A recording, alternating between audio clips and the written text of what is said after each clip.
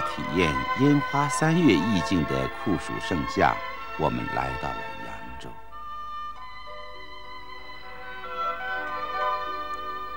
驱车匆匆驰过今非昔比的扬州市区，和垂杨不断接残芜、雁翅虹桥演画图的瘦西湖，又南行十余里，才找到了高明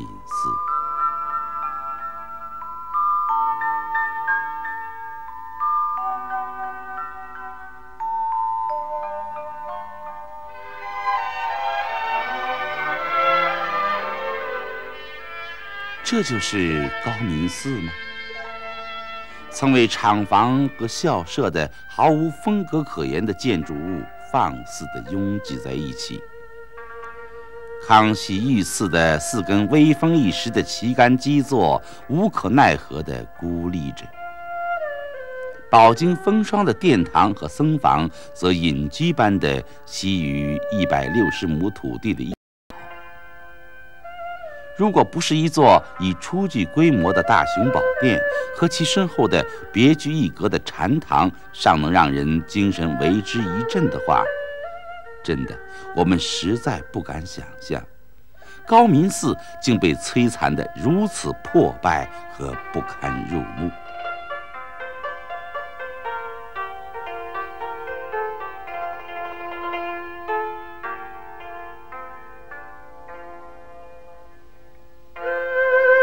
建筑材料几乎占据了高明寺从事法事以外的所有空间，但杂乱的世俗景象却丝毫没有影响到安于静寂的高明寺的钟鸣板响。当我们的摄像机镜头对准高明寺的佛堂时，我们怅然了。斑驳的青砖墙壁。配以油漆博士的门窗，本来就不雄伟的大殿显得更加矮小了。历史是多么的不公道！几千年的天灾人祸，好像必欲至高明寺从这个世界上消失，才肯停下他的肆虐。太平天国与清军对阵的大火。红卫兵小将和所谓四旧的厮杀，犹如来自两个不同时代的双面刃，使高明寺一而再、再而三地承受了本不应该由他承受的打击。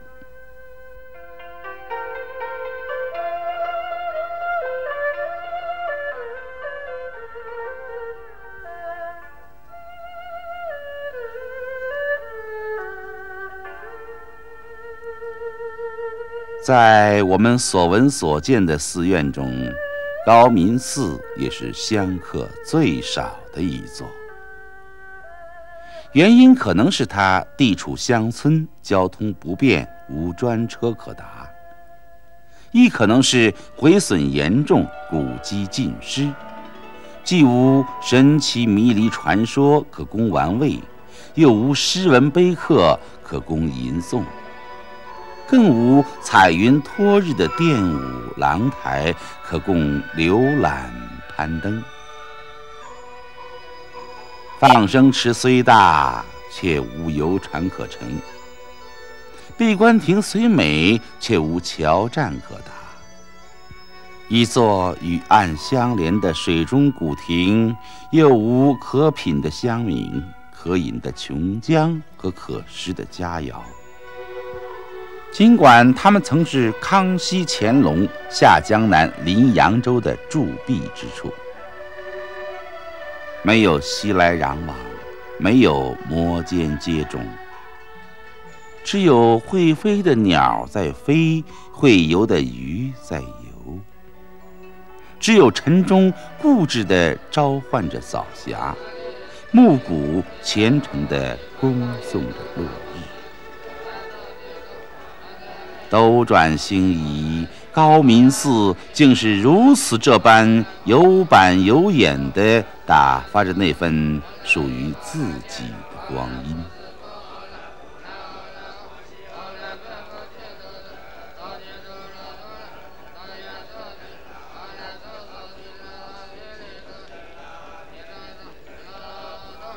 初建于隋代的高明寺，亦是全国重点开放的寺院之一。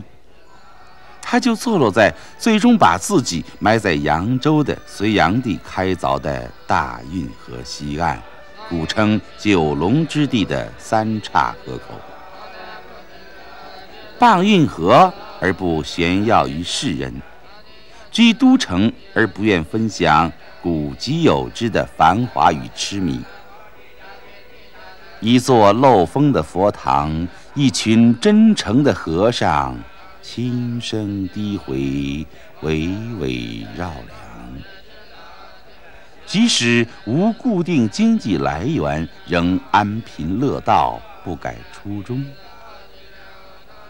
那么，当初高明寺的祖师们也是这样过来的吗？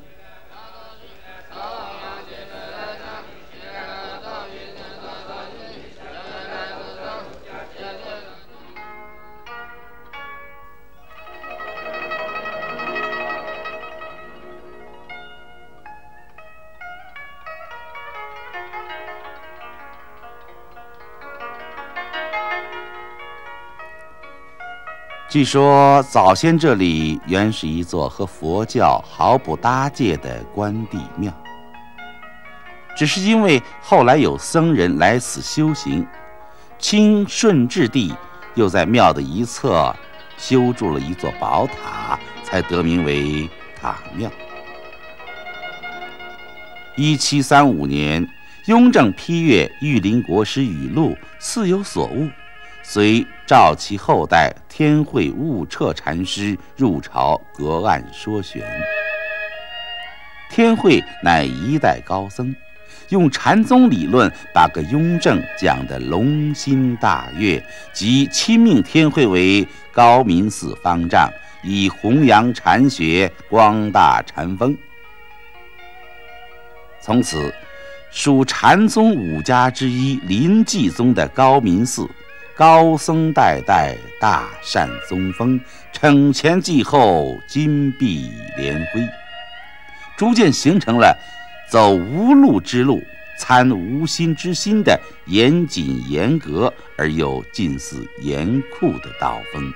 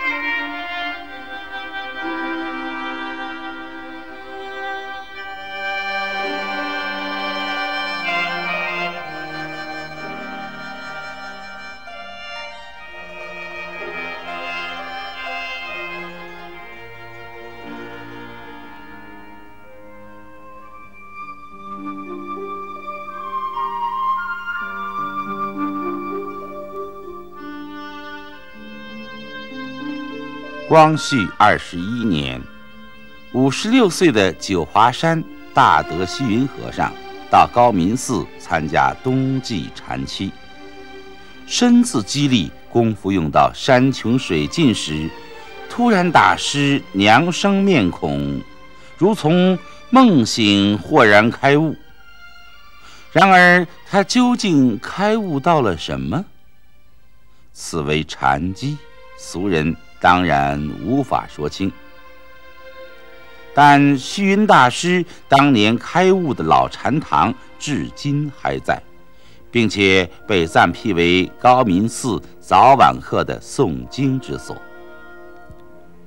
在老禅堂后，有一座专用于闭方辩官的六角禅亭。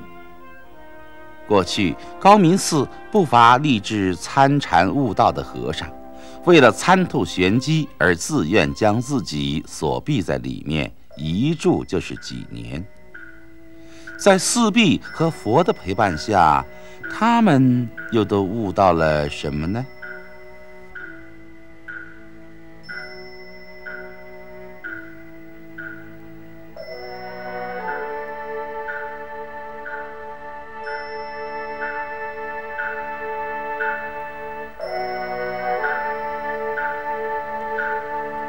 用我们俗人眼光看，参禅百分之百是一件苦差事。结跏趺坐，静思与心或进入无所思、无所想的忘我状态。单就由血脉经络贯通宇内的肉体来说，就是一种极大的考验。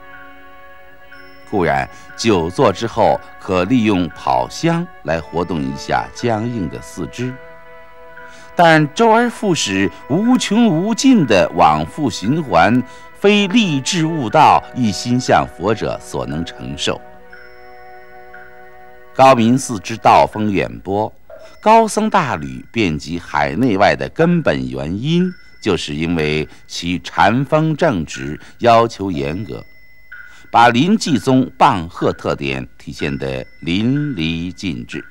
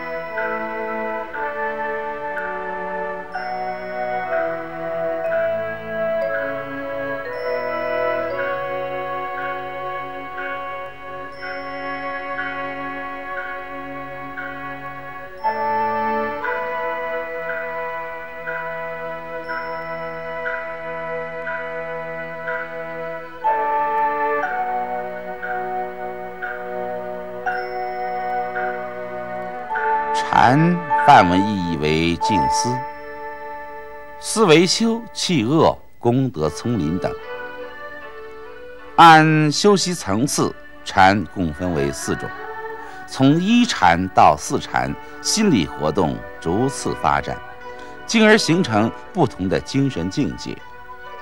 由此看来，禅应该说是僧人修行所要遵循的过程和达到的档次。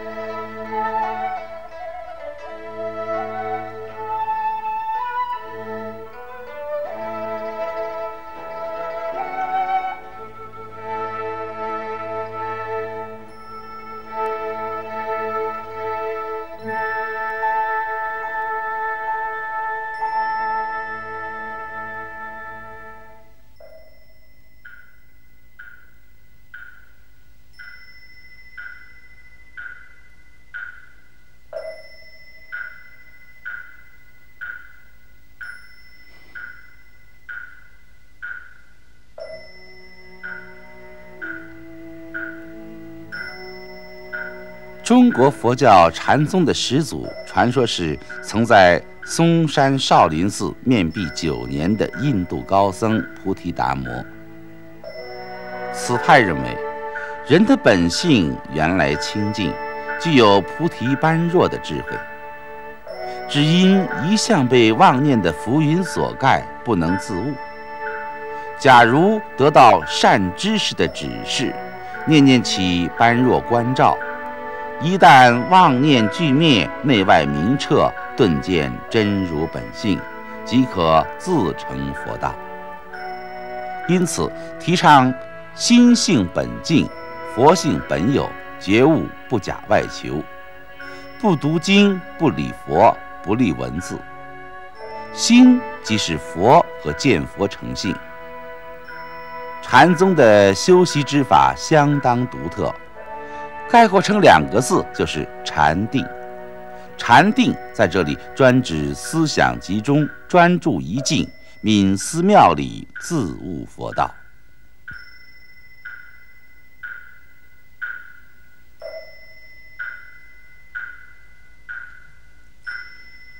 禅是一件极难参透的东西，它给人的感觉是里面充满隐可惑、可悟的机智与玄机，也就是我们所说的大智慧。但当我们试图进一步靠近它时，它又变成了虚无缥缈的似云似雾的非具象又非抽象的难以琢磨的思想流。聪明人可能彻悟禅机，但参禅又似乎并不需要绝顶聪明。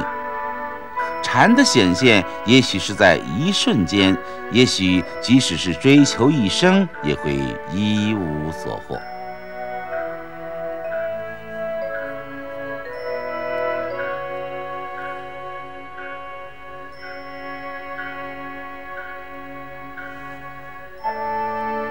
然而，禅又是可以把握的。只要你认定它不过是佛教徒借以修行的一种方式，别去用世俗的钻牛角尖式的思维定式来非要讨个明白，就可用“心道佛知”四个字予以概括。禅师不是哲学家，高明寺的僧人严格按照律条坐禅跑香。参玄悟道，只是为了实现自己所发的宏愿，为了自己虔诚的宗教信仰。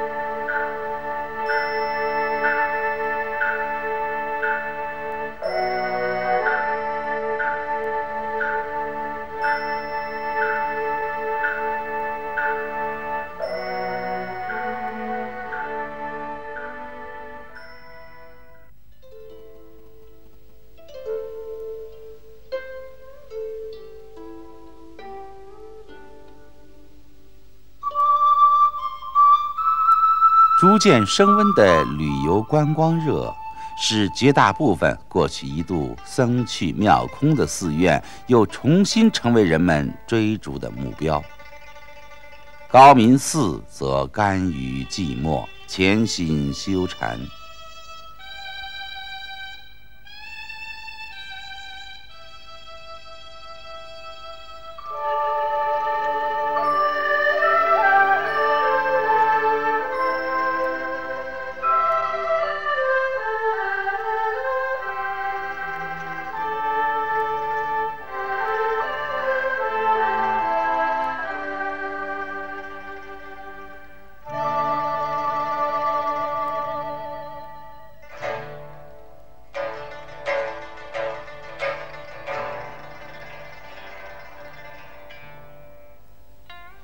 虽无意悬棒贺之举止，却乘临济单刀直入，讥风峻烈之遗风。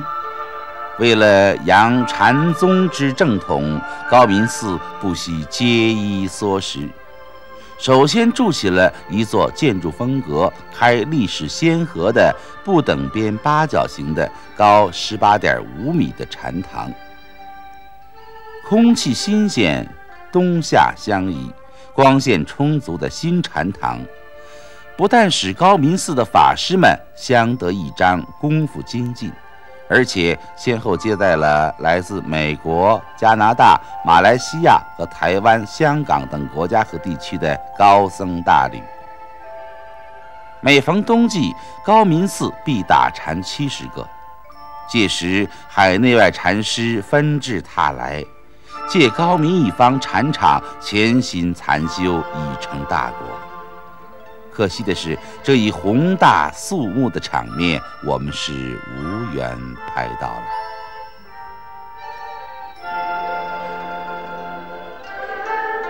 这就是高明寺吗？残败的僧房蕴含着怎样一种用清贫涂抹着的精进？佛像下跪伏着的是怎样的一群心系西天的四众弟子？大雄宝殿拔地而起，八十多米高的宝塔已奠定基础。绿色的树木绿色依然，常开的花朵依然常开。以无门为门的禅师们，依然以没有方法为最高方法来把持着自己的禅心。